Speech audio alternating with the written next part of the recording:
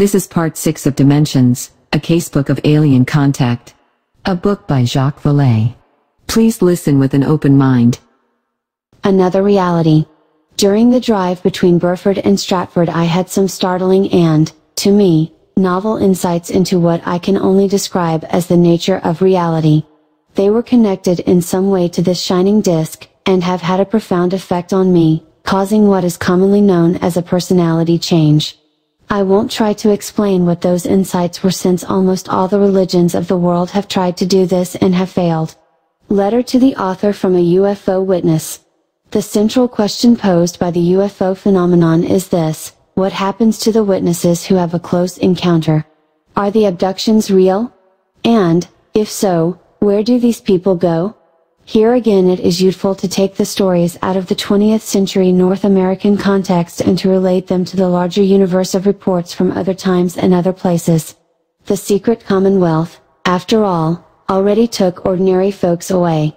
So did the denizens of Magonia, and the sky people of American Indian lore.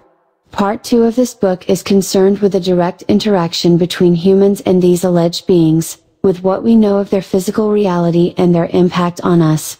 As we progress from chapter to chapter in this search, the reader will see the outline of a major fact towering above the haze of human theories and fragile dreams.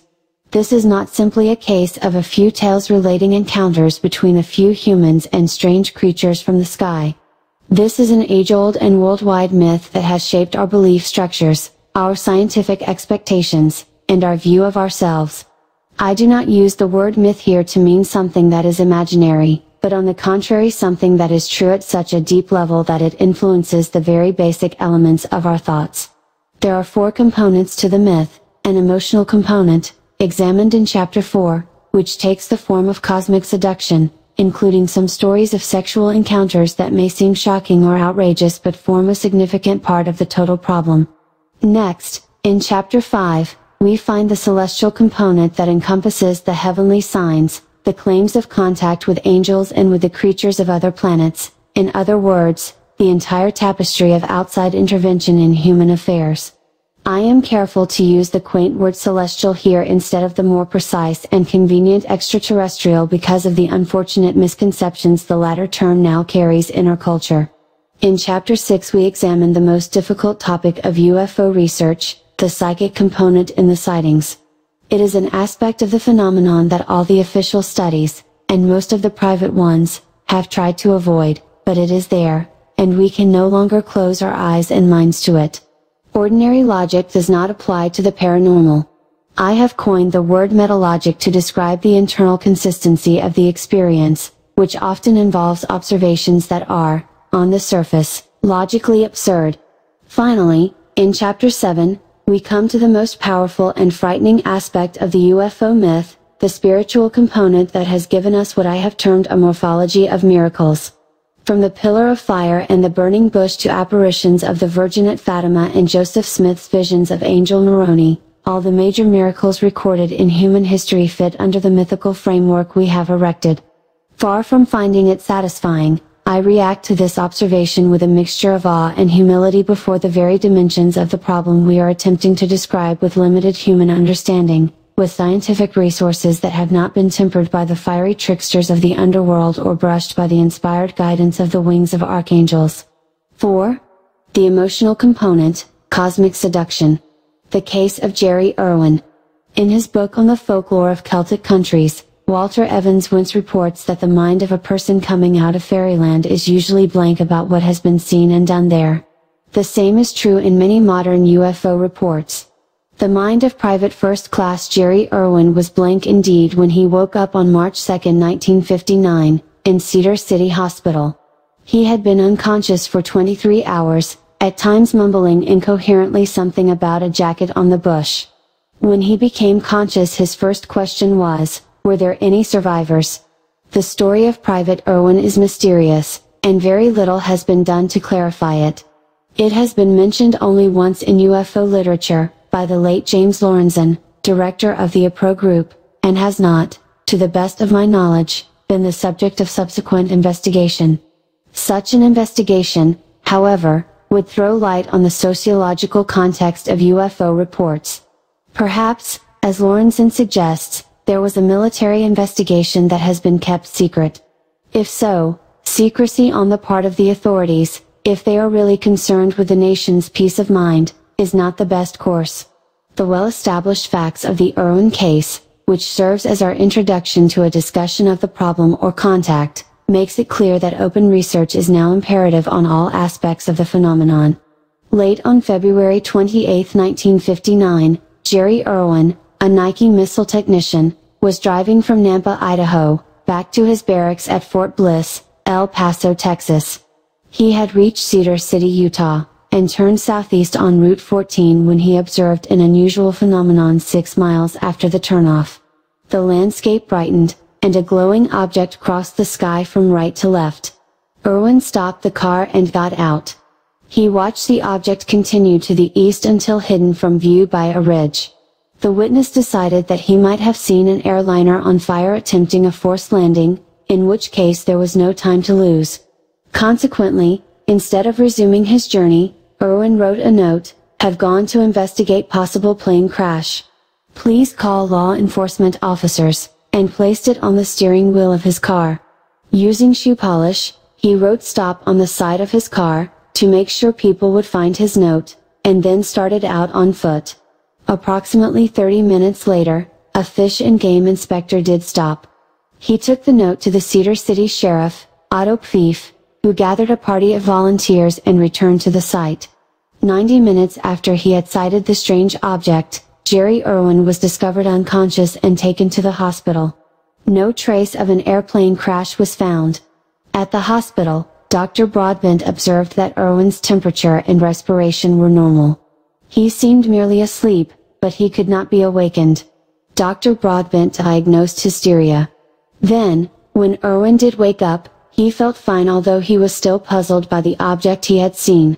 He was also puzzled by the disappearance of his jacket. He was assured that he was not wearing it when he was found by the search party. Irwin was flown back to Fort Bliss and placed under observation at William Beaumont Army Hospital for four days, after which period he returned to duty. His security clearance, however, was revoked. Several days later, Irwin fainted while walking in the camp, but he recovered rapidly. Several days afterward, on Sunday, March 15, he fainted again in an El Paso street and was taken to Southwest General Hospital. There his physical condition was found similar to that observed in Cedar City. He woke up at about 2 a.m. on Monday and asked, were there any survivors? He was told that the date was not February 28 but March 16. Once more, he was taken to William Beaumont Hospital and placed under observation by psychiatrists. He remained there over one month. Lorenzen reports that, according to a Captain Valentine, the results of the test indicated that Irwin was normal. He was discharged from the hospital on April 17. The next day, following a very powerful urge, he left the fort without leave, caught a bus in El Paso, arrived in Cedar City Sunday afternoon, April 19, walked to the spot where he had seen the object, left the road, and went back through the hills, right to a bush where his jacket lay. There was a pencil in a buttonhole with a piece of paper wound tightly around it. He took the paper and burned it. Then he seemed to come out of a trance. He had to look for the road. Not understanding why he had come there, he turned himself in and thus met Sheriff Otto Pfeif, who gave him the details of the first incident. The Lorenzens contacted Irwin after he had returned to Fort Bliss and undergone a new psychological examination, as futile as the previous one. His case came to the attention of the Inspector General, who ordered a new investigation. On July 10, Irwin re-entered the hospital. On August 1, he failed to report for duty. One month later he was listed as a deserter. He was never seen again. New Hampshire Revisited, the Irwin case is reminiscent of another incident that has become one of the standards of modern American folklore, the report by Betty and Barney Hill and their examination under hypnosis by Dr. Benjamin Simon, which has been documented at length by John Fuller in his excellent book The Interrupted Journey. The reader must keep in mind the main features of the Irwin and Hill cases in order to follow the discussion that is the object of this chapter. Report number 10161, in the files of the 100th Bomb Wing, Strategic Air Command, Pease Air Force Base, New Hampshire, was prepared by Major Paul W. Henderson. The only official document concerning the Hill case, it contains a detail of which both Dr. Simon and John Fuller were unaware, the object seen by the Hills had been detected by military radar. During a casual conversation on 22 Sept 61 between Major Gardner B. Reynolds, 100th BSDC 01 and Captain Robert O. Commander 1917 to 2 Extit, Pease AFB New Hampshire, it was revealed that a strange incident occurred at 0214 local on 20th of September no importance was attached to the incident at the time. The visual sighting itself is summarized as follows, on the night of 19 to 20 Sept between 20.0001 and 20.0100 Mr. and Mrs. Hill were traveling south on Route 3 near Lincoln, NH when they observed, through the windshield of their car, a strange object in the sky.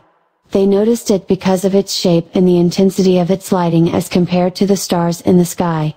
The weather and sky was clear at the time. In the report itself we read Betty Hill's account of the sighting as reported by Pease Air Force Base officials. The observers were traveling by car in a southerly direction on Route 3 south of Lincoln, New Hampshire, when they noticed a brightly lighted object ahead of their car at an angle of elevation of approximately 45 degrees. It appeared strange to them because of its shape and the intensity of its lights compared to the stars in the sky. Weather and sky were clear. They continued to observe the object from their moving car for a few minutes then stopped.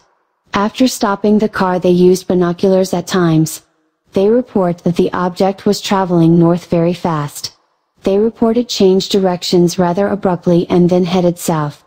Shortly thereafter it stopped and hovered in the air. There was no sound evident up to this time. Both observers used the binoculars at this point. While hovering, objects began to appear from the body of the object which they describe as looking like wings which made a V shape then extended. The wings had red lights on the tips. The object continued to descend until it appeared to be only a matter of hundreds of feet above their car. At this point they decided to get out of that area, and fast. They report that while the object was above them after it had swooped down they heard a series of short loud buzzes which they described as sounding like someone had dropped a tuning fork. They report that they could feel these buzzing sounds in their auto. No further visual observations were made of this object, they continued on their trip and when they arrived in the vicinity of Ashland, New Hampshire, about 30 miles from Lincoln, they again heard the buzzing sound of the object, however, they did not see it at this time. Mrs. Hill reported the flight pattern of the object to be erratic, changing directions rapidly, that during its flight it ascended and descended numerous times very rapidly. Its flight was described as jerky and not smooth. This report is remarkable for what it does not contain. In this respect, it is probably typical of a large class of Air Force records, most of those involving close proximity to a UFO, where either witness reluctance or lack of adequate follow-up eliminated the most significant information. In the present case, the witnesses failed to give the Air Force any information as to the beings they could see aboard the craft during their observation with binoculars. And proper investigation would have disclosed an element of which they were not immediately aware, they could not account for a time gap of two hours between the two periods of buzzing sounds. In fact, they could not recall how they had driven the 35 miles between Indian Head and Ashland so casually mentioned in the Air Force report. Both witnesses had a series of strange nightmares. The dreams led them to see a psychiatrist who used hypnosis to discover the root of the problem, and it was only then found that the origin of the nightmares could be traced to those missing two hours. Under separate hypnosis, Betty and Barney Hill said they had been taken by the strange beings into the UFO. I have heard the portion of the tapes covering the abduction of Betty and Barney Hill. I spent two days in New Hampshire with the witnesses, and with Dr. Simon and John Fuller.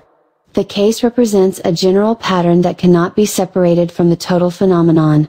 First, it is interesting to note that, as further details come to the Hills' memories after treatment, the case took on more of the features present in other UFO landings, of which the Hills could not have heard.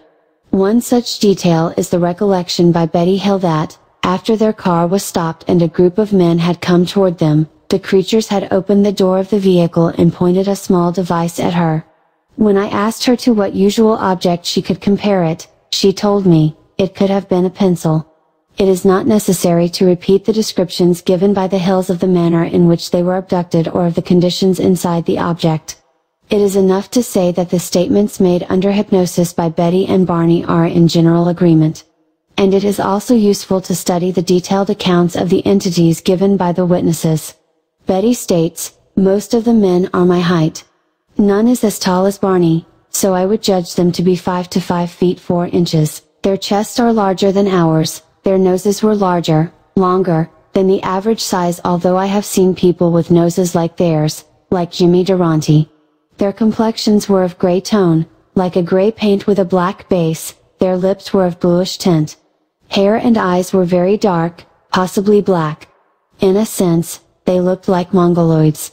This sort of round face and broad forehead, along with a certain type of coarseness. The surface of their skin seemed to be a bluish gray, but probably whiter than that. Their eyes moved, and they had pupils. Somehow, I had the feeling they were more like cat's eyes.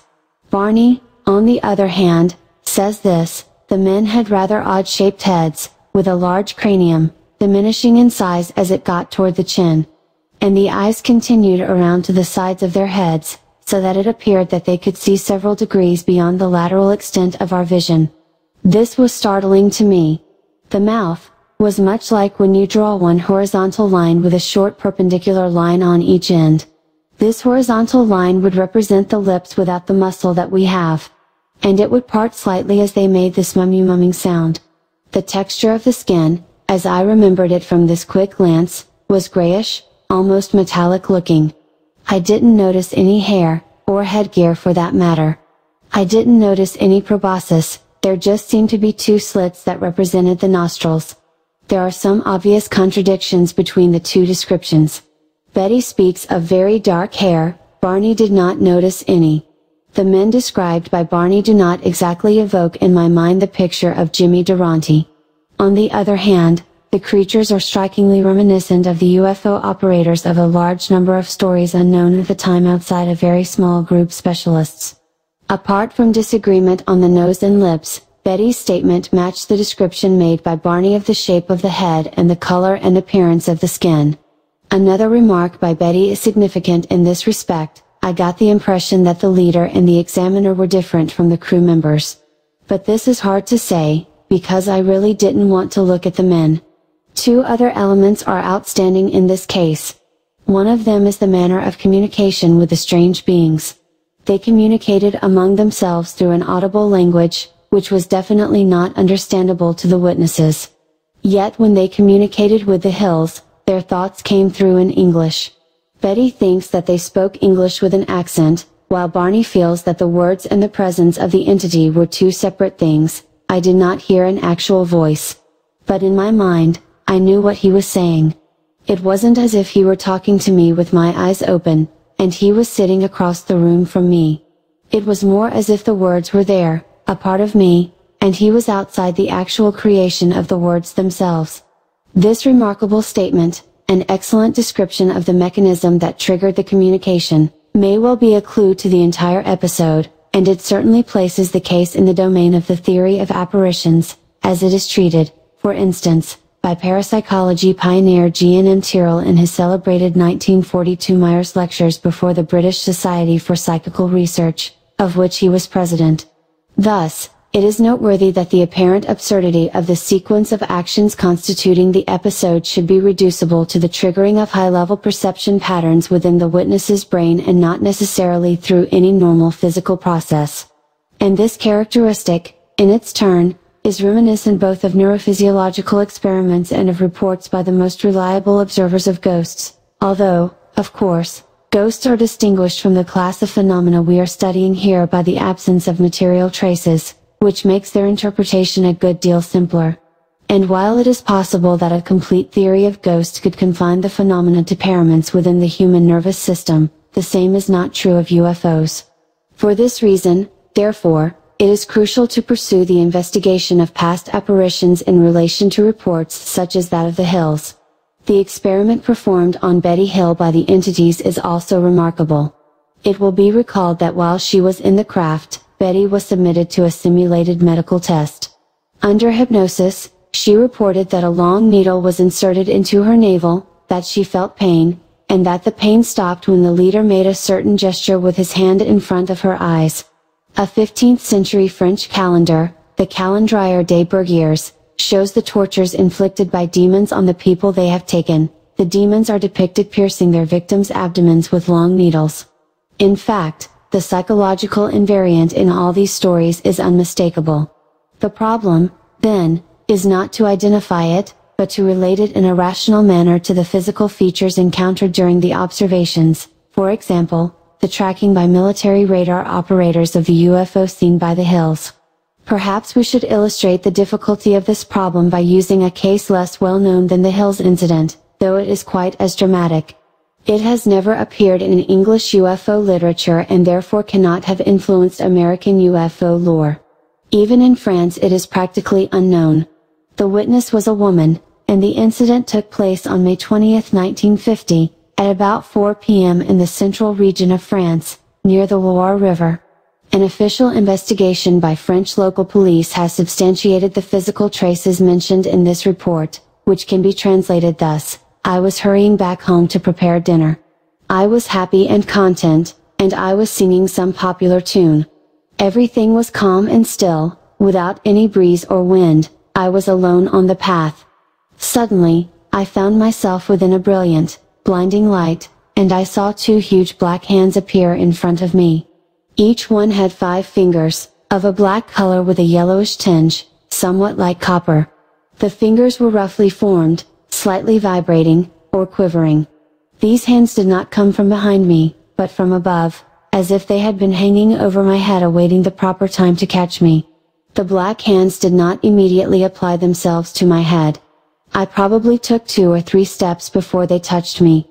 The hands had no visible arms, the two black hands were applied to my face with violence and squeezed my head, as a bird of prey rushes on its unfortunate, helpless victim. They pulled my head back against a very hard chest, one that seemed to be made of iron, I felt the cold through my hair and behind my neck, but no contact with clothes. The hands were squeezing my head like a formidable vice, not abruptly, but gradually. They were very cold, and their touch made me think that they were not made of flesh. The big fingers were placed on my eyes, and I could not see any more, on my nose so that I could not breathe, and also my mouth, to prevent me from crying out. Unable to defend herself, the abducted woman was at the mercy of the entity, when I was surrounded by the strong, blinding light, I had the feeling I had been paralyzed, and when the hands touched me, I had the very distinct impression of a strong electric discharge, as if I had been shaken by a lightning bolt. My whole body was annihilated, helpless, without reflexes. She heard her aggressor laugh, and she reported that she was hurt by a blow in the back, as if from a metallic object. She was pulled backwards through the bushes. My aggressor pulled me through the bushes until we reached a small pasture, and suddenly he stopped. Why? His hands had gradually slipped down my face, and I tried to call for help but I had no voice left but a tiny, shrill cry. After a while I was able to sit among the brambles. I had a very hard time breathing. My bag was still in my hand, with the money it contained. At last I was able to get up in spite of my weakness, and then I heard some noise to my left inside the bushes. I thought I was going to see my aggressors and recognize their faces, but I saw nothing. Only the branches moved, waving in the air, I saw and heard the brambles scratching the empty space, and the grass being pressed as if under the steps of some invisible being. I was terrified. Softly, I took to the path again, walking with difficulty. My legs were lacerated by the brambles and bleeding, I felt a strange sensation of nervous exhaustion, indefinable, as if I had been electrified by a strong current. In my mouth was a sickening, metallic, bitter taste, my muscles did not obey me. Over my shoulders I felt something like a bar, and in my back a painful heat, as if I had been exposed to flames or to a burning ray. At times I still felt as if I was being brushed by an invisible brush. I must have walked like that for five or six minutes. At the end of the path there was a turn, and from there I could see houses, and then the pain decreased a little bit. Another remarkable observation was yet to come, everything had lasted a quarter of an hour or twenty minutes, and it seemed that I had lived in an unreal world. Abruptly I heard a great noise, like a violent wind during a storm, a sudden displacement of warm air or a violent whirlwind. I saw the trees bending as if under a sudden storm, and I was nearly thrown down. Almost simultaneously, there was a strong, blinding white light. I had the feeling something flew through the air very fast, but I saw nothing. Soon everything became calm again. I felt discomfort and nausea. I reached the house of the lock keeper, and when I opened the door they came toward me and asked me what had happened, because they too had seen a light from their house. The lock keeper's wife asked me what was wrong. When I was able to speak at last, they told me all the fingers were still deeply marked in the flesh of my face, making large red bars. They applied parasite to the scratches on my legs, and an ointment, and bathed me face with cold water. My hands were badly hurt, after a long lapse of time I started again toward the town to buy a few things, without saying anything to anyone, and I came back home laboriously, by another path. The previous evening, the witness in this case had observed a kind of shooting star, which stopped abruptly, then appeared to go up and stay among the other stars for a while, then to grow bigger and take on a kind of swimming motion, its light alternately on and off. Suddenly it left, on a curved trajectory, and reached the horizon at very high speed. She had dismissed the incident from her mind at the time. The official investigation got nowhere and was dropped. The case is still carried as an unsolved abduction attempt. What can we say about such reports? They are neither more nor less believable than other UFO sightings, they are in line with some of the most dramatic stories of older days, which inspired the fairy tales, they are also in line with the visions of the 1897 airship and the incidents that followed it. I now have several other reliable cases in my files where the beings, and in some cases, the UFO itself, were invisible. The records of ANZAC, Australian and New Zealand Army Corps, contain another abduction case that occurred on August 21, 1915. In that incident, which I have not been able to confirm, an entire regiment was posted as missing taken by the wind. We have now examined several claims of abductions and attempts at kidnappings by the alleged occupants of flying saucers. These episodes are an integral part of the total UFO problem and cannot be solved separately. Historical evidence gathered by Evans Wentz points in the same direction.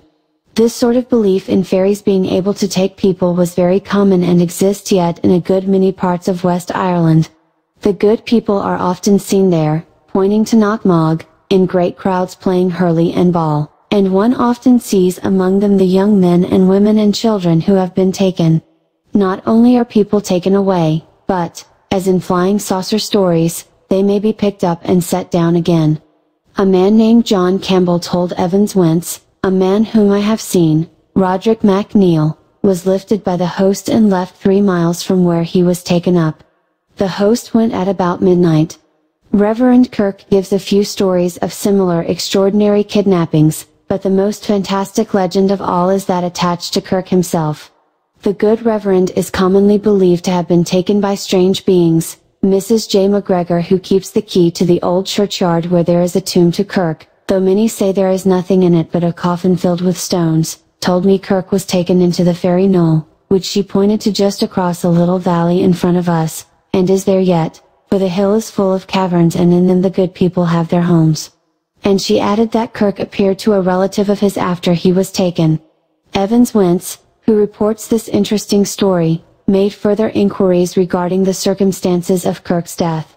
He went to see the successor to Kirk in Aberfoyle, Reverend Taylor, who clarified the story, at the time of his disappearance people said he was taken because the fairies were displeased with him for disclosing their secrets in so public manner as he did. At all events, it seems likely that Kirk was taken ill very suddenly with something like apoplexy while on the fairy knoll, and died there. I have searched the presbyter books and find no record of how Kirk's death really took place, but of course there is not the least doubt of his body being in the grave. Kirk believed in the ability of the good people to perform abductions, and this idea was so widespread that it has come down to us through a variety of channels. This fact enables us to examine in detail four aspects of fairy lore that directly relate to our study. 1. The conditions and purpose of the abductions. 2. the cases of release from Magonia and the forms taken by the elves' gratitude when the abducted human being had performed some valuable service during his stay. 3. The belief in the kidnapping activities of the fairy people, and, 4. What I shall call the relativistic aspects of the trip to Magonia. Hartland reports that a Swedish book published in 1775 contains a legal statement, solemnly sworn on April 12, 1671, by the husband of a midwife who was taken to fairyland to assist a troll's wife in giving birth to a child. The author of the statement seems to have been a clergyman. On the authority of this declaration we are called on to believe that the event recorded actually happened in the year 1660. Peter Rahm alleges that he and his wife were at their farm one evening late when there came a little man, swart of face and clad in grey, who begged the declarant's wife to come in and help his wife then in labor. The declarant, seeing that they had to do with a troll, prayed over his wife, blessed her, and bade her in God's name go with the stranger. She seemed to be borne along by the wind. It is reported that she came home in the same manner, having refused any food offered to her while in the troll's company. In another tale, the midwife's husband accompanies her through the forest. They are guided by the earthman, the gnome who has requested their help. They go through a moss door, then a wooden door, and later through a door of shining metal. A stairway leads them inside the earth, to a magnificent chamber where the earthwife is resting. Kirk reports that in a case whose principals he personally knew the abducted woman found the home of the little people filled with light, although she could not see any lamp or fire.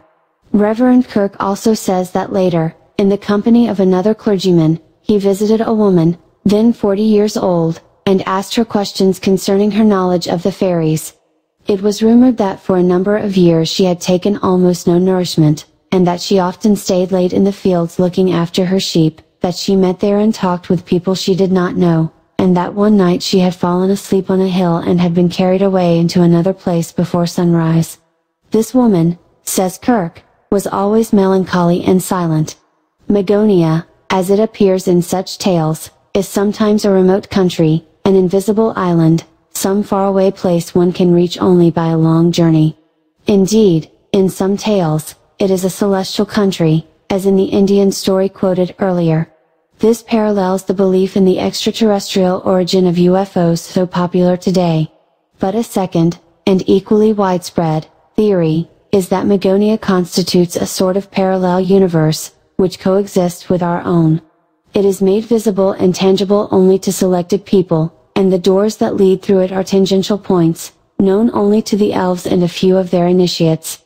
Hartland gives tales that illustrate the latter theory, such as the following. In Nithsdale a fairy rewards the kindness of a young mother, to whom she had committed her baby to suckle, by taking her on a visit to fairyland. A door opened in a green hillside, disclosing a porch which the nurse and her conductor entered.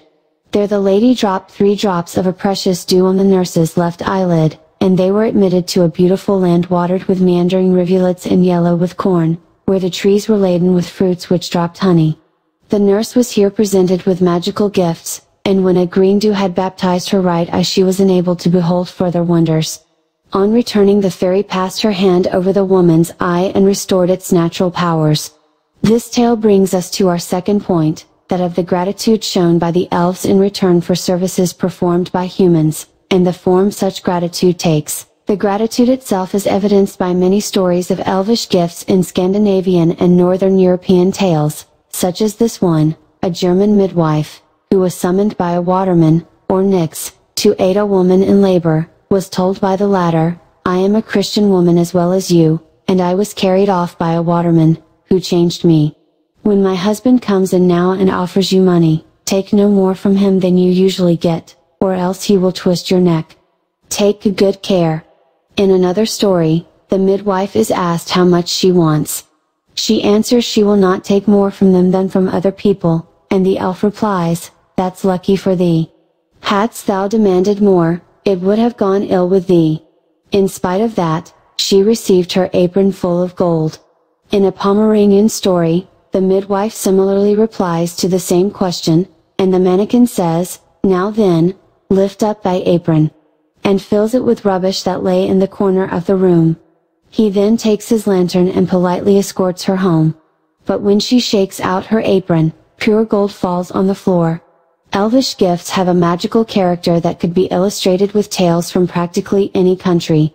Chinese folklore, in particular, gives numerous examples of this. In one tale, the dwarf fills the woman's apron with something she must not look at before she reaches her house. Naturally she takes a look as soon as the dwarf has vanished, and sees that she is carrying black coals. Angered, she throws them away, retaining two as evidence of the dwarf's bad treatment. She arrives home and discovers the black coals have turned into precious stones. But when she goes back to find the other coals, they are all gone. There are numerous stories of humans who have gone to Magonia of their own will, either taking a message or bringing one back, or performing some service for the supernatural beings who live there. But, and this is my third point, we also have numerous accounts of abductions by the fairies. As in the cases of UFO abductions published by Bud Hopkins in his book Intruders, they take men and women, especially pregnant women or young mothers, and they also steal young children. Sometimes, they are said to substitute a false child for the real one, leaving in place of the real child a broom with rugs wrapped around it or one of their children, a changeling. By the belief in changelings I mean a belief that fairies and other imaginary beings are on the watch for young children or, sometimes even for adults, that they may, if they can find them unguarded, seize and carry them off, leaving in their place one of them. This belief is not confined to Europe. It is found in regions as remote from Europe as China and the American Pacific coast. Once the parents have recognized their child has been taken, what should they do? Hartland says that a method in favor in the north of Scotland is to take the suspected elf to some known haunt of its race, generally, we are told, some spot where peculiar coughing sounds are heard, or to some barrow, or stone circle, and lay it down. An offering of bread, butter, milk, cheese, eggs and flesh or fowl must accompany the child. But sometimes more radical methods have been used, and we can only pity any poor children who may have been ill-treated because their superstitious parents thought they looked like elves. As late as May 17, 1884, it was reported in the London Daily Telegraph, Two women were arrested at Clonmel and charged with cruelty toward a child three years old. They thought he was a changeling and, by ill-treating him, hoped to obtain the real child from the elves. And there is no question that in medieval times the same superstition has led to the death of children who had congenital defects. Sometimes the same treatment applies to adults who have been changed, and Hartland gives a funny example of such a case. A tale from Badenoch represents the man as discovering the fraud from finding his wife, a woman of unruffled temper, suddenly turned a shrew. So he piles up a great fire and threatens to throw the occupant of the bed upon it unless she tells him what has become of his wife. She then confesses that the latter has been carried off, and she has been appointed successor. But by his determination he happily succeeds in recapturing his own at a certain fairy knoll near Inverness. Of course, the UFO myth has not yet reached such proportions, but we are perhaps not quite far from it. American television series such as The Twilight Zone have capitalized on this aspect in episodes that assume that the human race has been infiltrated by extraterrestrials who differ from humans in small details only. This is not a new idea, as the belief in changelings shows. What was the purpose of such abductions? The idea advanced by students of folk tales is again very close to a current theory about UFOs, that the purpose of such contact is a genetic one. According to Hartland, the motive assigned to fairies in northern stories is that of preserving and improving their race, on the one hand by carrying off human children to be brought up among the elves and to become united with them, and on the other hand by obtaining the milk and fostering care of human mothers for their own offspring.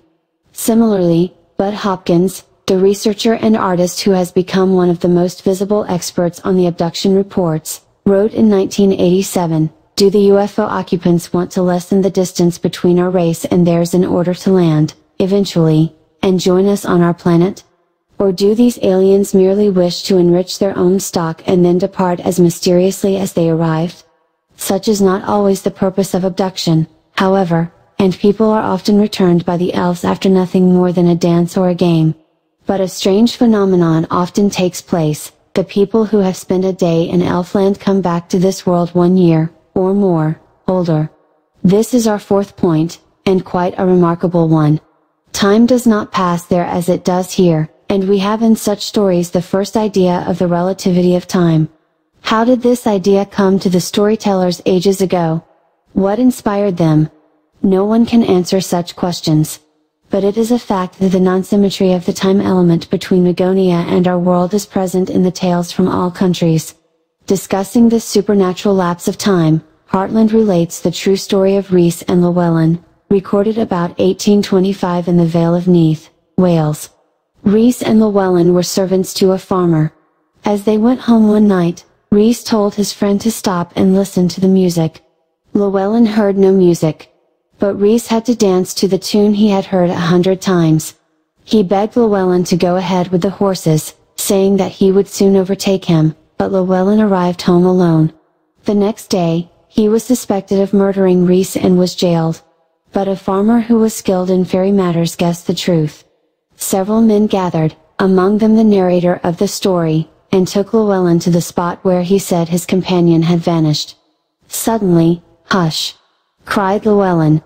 I hear music, I hear sweet harps. All listened but could hear nothing.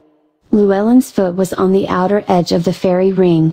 He told the narrator to place his foot on his, and then he too heard the sounds of many harps and saw a number of little people dancing in a circle 20 feet or so in diameter. After him, each of the party did the same and observed the same thing. Among the dancing little folk was Rhys. Llewellyn caught him by his frock as he passed close to them and pulled him out of the circle. At once Rhys asked, Where are the horses? And asked them to let him finish the dance, which had not lasted more than five minutes and he could never be persuaded of the time that had elapsed. He became melancholy, fell ill, and soon after died. Such stories can be found in Keightley's The Fairy Mythology and other books. The story of Rhys and Llewellyn is remarkable because it dates from the 19th century, thus providing continuity between fairy and UFO lore. In tales of this type, several modes of recovery of the persons taken are offered. One of them consists in touching the abducted man with a piece of iron, and the objection of supernatural beings to this metal is one of the themes of fairy lore. Near Bridgend, Wales is a place where it is reported that a woman who had been taken by the fairies came back ten years later and thought she had not been away more than ten days. Hartland gives another charming story on the same theme, concerning a boy named Gitto Bach, or Little Griffith, a farmer's son who disappeared, during two whole years nothing was heard of him but at length one morning when his mother, who had long and bitterly mourned for him as dead, opened the door, whom should she sitting on the threshold but Gitto with a bundle under his arm. He was dressed and looked exactly as when she last saw him, for he had not grown a bit. Where have you been all this time? asked his mother. Why, it was only yesterday I went away, he replied, and opening the bundle he showed her a dress the little children as he called them, had given him for dancing with them. The dress was of white paper without seam. With maternal caution she put it into the fire. The best known stories where time relativity is the main theme are of course of the Rip Van Winkle type, patterned after numerous folk tales that allegedly concern actual events. Strangely enough, we again find the identical theme in ages-old Chinese folklore. Witness the story of Wang Qi, one of the holy men of the Taoists. One day, as Wang Qi wandered through the mountains of Kuchao gathering firewood, he saw a grotto where some old men were playing chess. He came in to watch their game and laid down his axe. One of the old men gave him something like a date stone and instructed him to place it in his mouth. No sooner had he done so than hunger and thirst passed away. Some time later, one of the aged players told him, It is long since you came here, you should go home now. But as he turned to pick up his axe, Wang Qi found that he handle had turned into dust. He reached the valley, but found not hours or days but centuries had passed, and nothing remained of the world as he had known it. A similar tradition exists in Denmark. In a tale which is typical of the pattern, a bride thoughtlessly walked through the fields during the festivities of her wedding day and passed a mound where the elves were making merry. Again, we have here a description of the little people close to the magical object sometimes described as a large, flat, round table, sometimes as a hillock. A disc or a large cone resting on the ground would fit that description. In describing the fairy knoll, Hartland writes, the hillock was standing, as is usual on such occasions, on red pillars, the wee folk offered the bride a cup of wine, and she joined in a dance with them. Then she hastened back home, where she could not find her family. Everything had changed in the village. Finally, on hearing her cries, a very old woman exclaimed, Was it you, then, who disappeared at my grandfather's brother's wedding, a hundred years ago? At these words, the poor girl fell down and expired. It is fascinating indeed to find such tales, which antedate Einstein's and Langevin's relativistic traveler by centuries. The supernatural lapse of time in Magonia is often allied to the theme of love between the abducted human and one of the beings. Such is the pattern of the story of Ossian, or Oisin. Once, when he was young man, Oisin fell asleep under a tree. He woke up suddenly and found a richly dressed lady of more than mortal beauty looking at him. She was the queen of the legendary land of Tir na Nog, and she invited him to share her palace. Oisin and the queen were in love and happy, but the hero was warned not to go into the palace gardens or to stand on a certain flat stone. Naturally, he transgressed the order, and, when he stood upon the stone, he beheld his native land, suffering from oppression and violence. He went to the queen and told her he must return. How long do you think you have been with me? She asked. Thrice seven days, said he. Thrice seven years, was the answer. But he still wanted to go back. She then gave him a black horse from whose back he must not alight during his trip in the other world, for fear of seeing the power of time suddenly fall on him. But he forgot the warning when an incident induced him to dismount, and at once he became a feeble, blind, and helpless old man. It is not necessary to spend time here, to dwell in detail, on the tales of the island of Avalon, Morgan the Fay, the legend of Ogier the Dane, and the magical travels of King Arthur. All these traditions insist on the peculiar nature of time in the other world. Nor is this limited to European history, as Hartland again points out, many races having traditions of a culture god, that is, of a superior being who has taught them agriculture and the arts of life, and led them to victory over their enemies, add that he has gone away from them for a while, and that he will someday come back again. Quetzalcoatl and Viracocha, the culture gods of Mexico and Peru, are familiar instances of this. Similarly, Vishnu has yet a tenth incarnation to accomplish the final destruction of this world's wicked. At the end of the present age, according to Hindu tradition, he will be revealed in the sky, seated on a white horse and holding a blazing sword. Such great traditions are common knowledge, like the abductions of Enoch, Ezekiel, Elijah, and others in the Bible. What is not commonly known is that such legends have been built on the popular belief in numerous actual stories of the less glorious, more ordinary and personal, type we have reviewed here. For instance, while all books about Mexico mention Quetzalcoatl, they usually ignore the local beliefs in little black beings, vehicles, whose pranks we have already mentioned.